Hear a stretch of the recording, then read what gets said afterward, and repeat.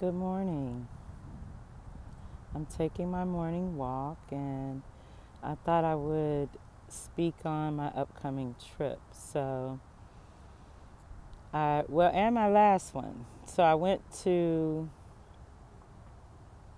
Virginia Beach this weekend. It was definitely just a spur of the moment uh, choice. Uh, I went to visit family and it was lovely it was lovely. I really enjoyed it.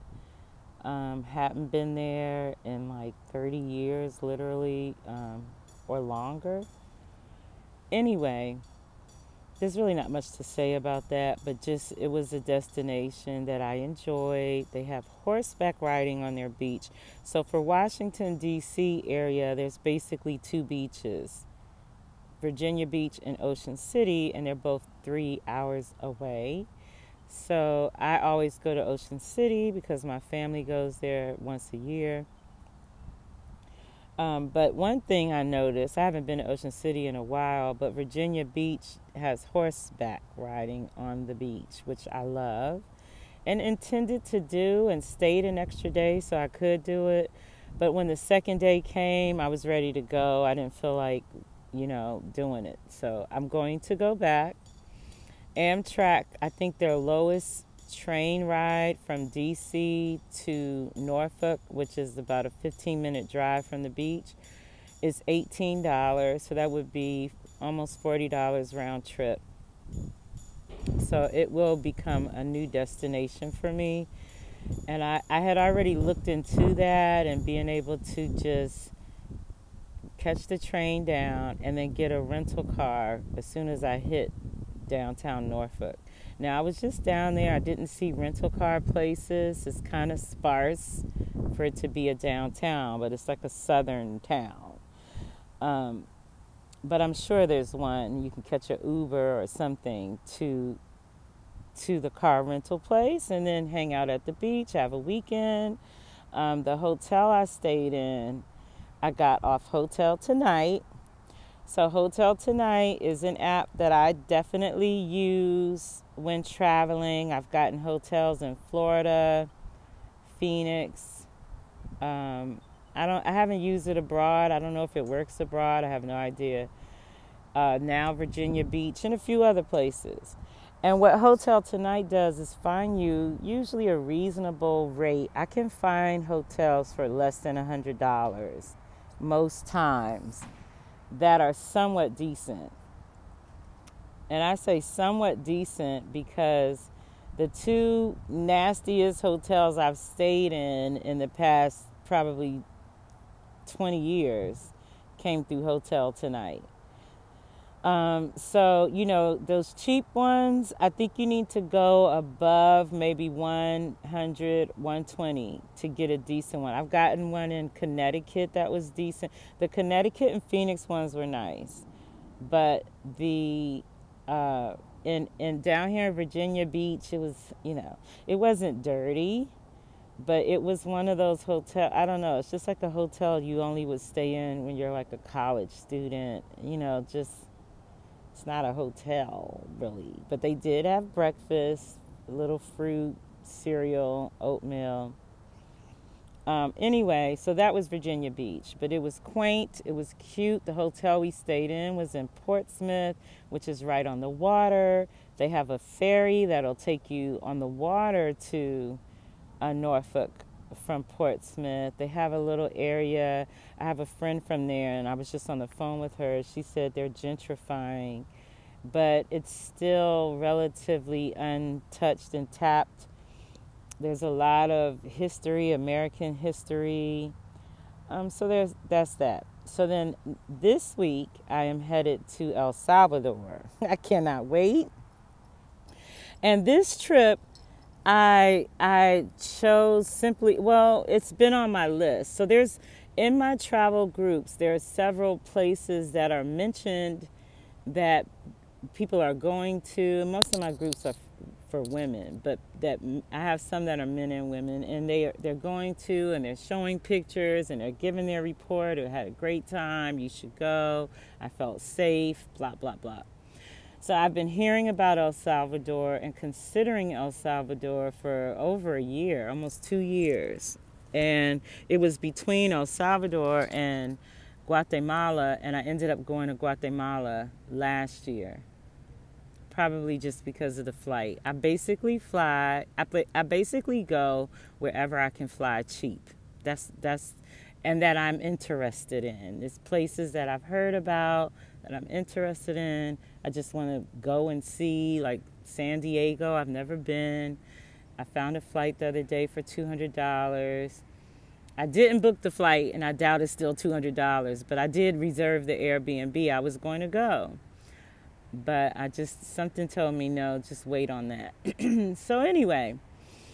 So El Salvador has you fly into San Salvador San Salvador. You know, let me use my correct words.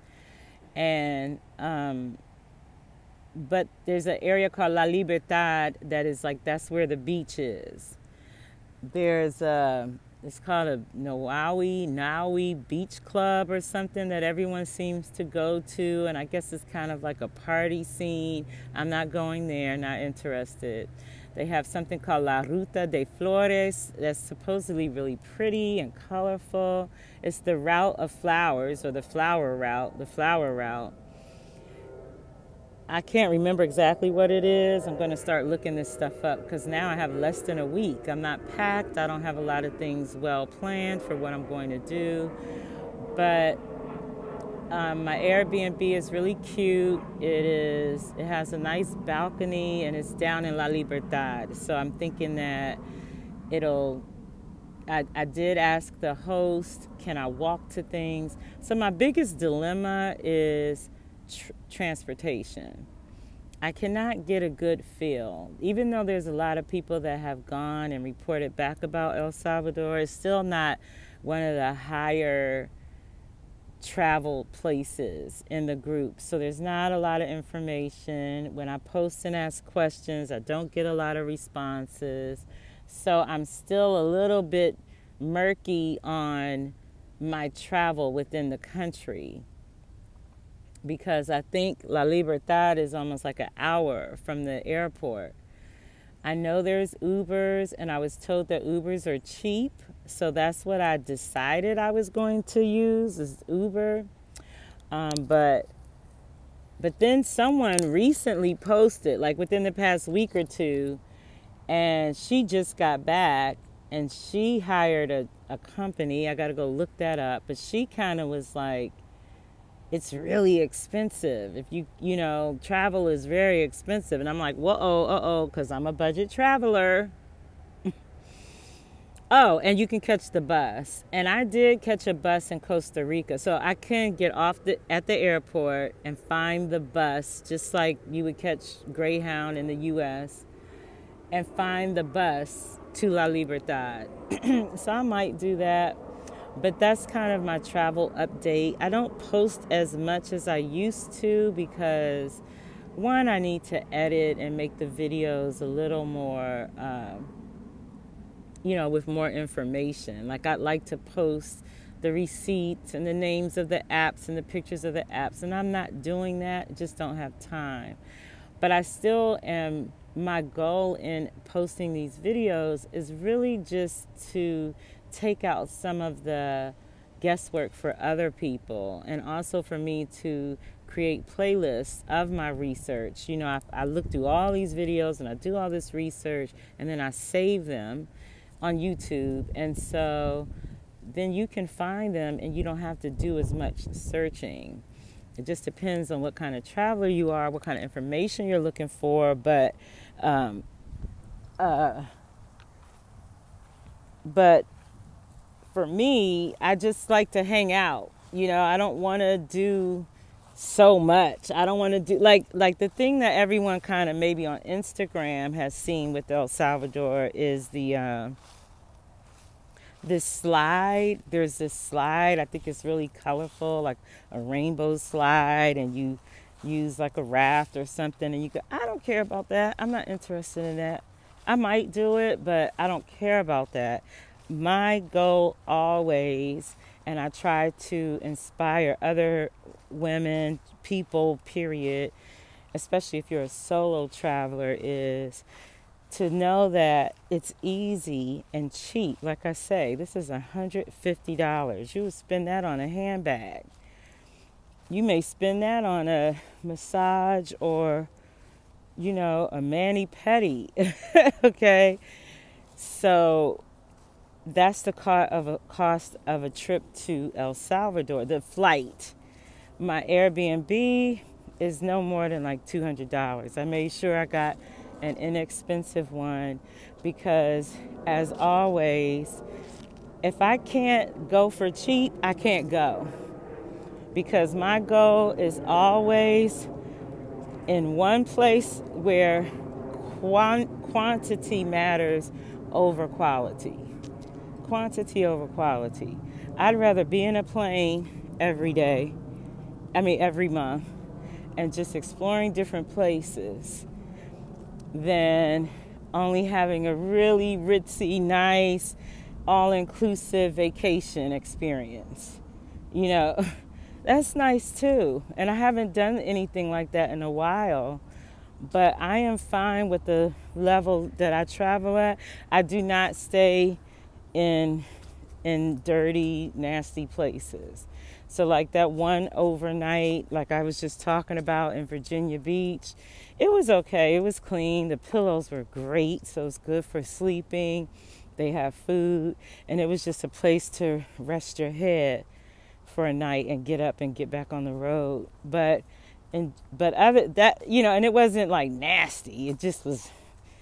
It wasn't I don't know if that's called three star. Just wasn't it wasn't plush. But um, other than that, you know, all my Airbnbs have been great for these low prices. Um, so that's my update. Quality, quantity over quality.